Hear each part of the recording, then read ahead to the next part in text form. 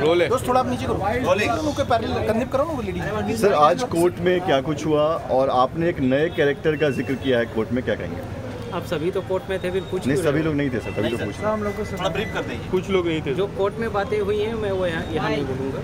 Court में मेरी एक आर्ग्यूमेंट हो गई है। सामने वालों ने एक समय मांगा है एक दिन का परसों दोपहर में वापस होगा सर अली कौन है और क्या रोल है उसका? नो कमेंट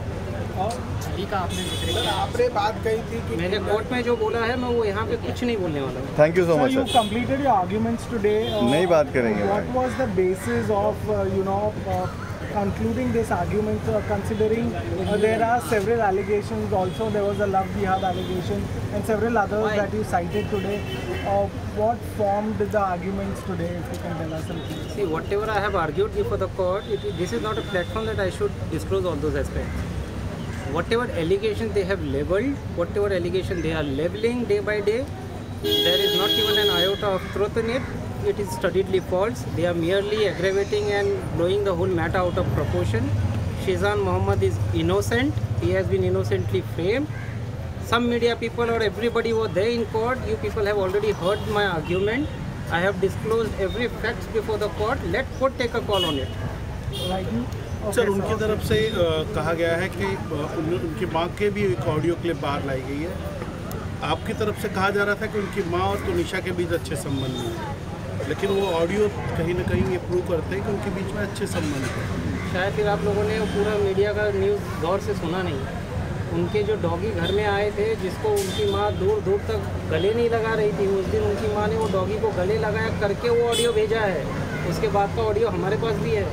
बट मैं यहाँ मीडिया ट्रायल के लिए नहीं आया हूँ।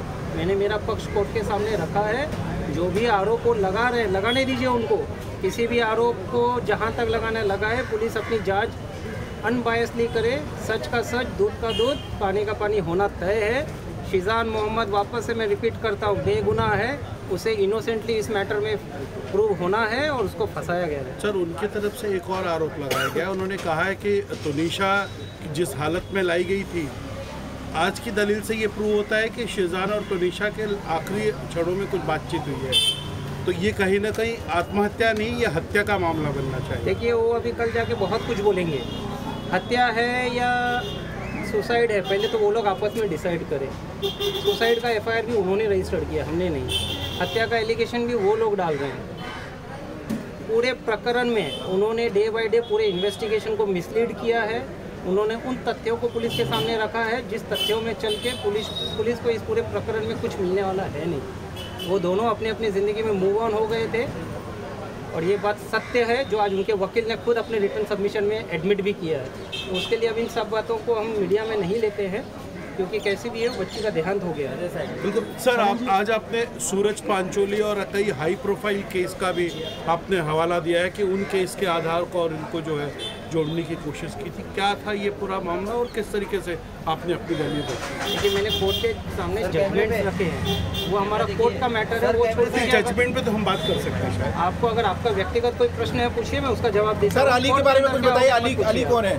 सर अली नाम का ज़िक्र किया था आपने। यही कहा पुलिस की थ्योरी थी कि आखिरी व्यक्ति सिजान है जिसने तुनिशा को देखा या बात किया। जी लेकिन आज आपके साइटेशन में आज आपकी जो दलीलें थी उसमें बात नहीं निकल के आई कि एक बंदा था जिससे पंद्रह मिनट वीडियो कॉल हुआ था तुनिशा का। उसके बारे में जरा बताएँ कि कौन था व्यक्ति या थोड़ी बहुत बेसिक जानकारी उसके बारे में। देखिए मैटर मेरा सब्जुडिस है। ऑलरेडी आपके मीडिया में जिम ट्रेनर का उल्लेख हो चुका है।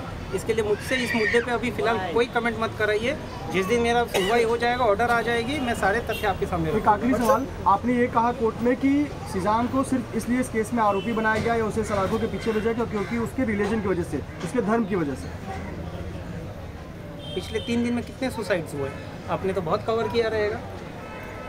जिस तरह से इसको अरेस्ट किया गया किसी और को अरेस्ट किया किसी तरह दूसरे मुद्दों को इस तरह से उछाला गया है? सब जानते हैं सच क्या है। तो ये अली वही है जो जिम ट्रेनर वही अली की बात नो कमेंट्स मैंने मेरे पक्ष कोर्ट पे रख दिया आप सभी थे वहाँ पे। कोर्ट का चीज़ मत पूछो please request thank you thank you sir sir एक जितना पीछे उतना अच्छा होगा थोड़ा सा सामने से प्लीज़ इस तरफ़ इधर लाओ आधा इस तरफ़।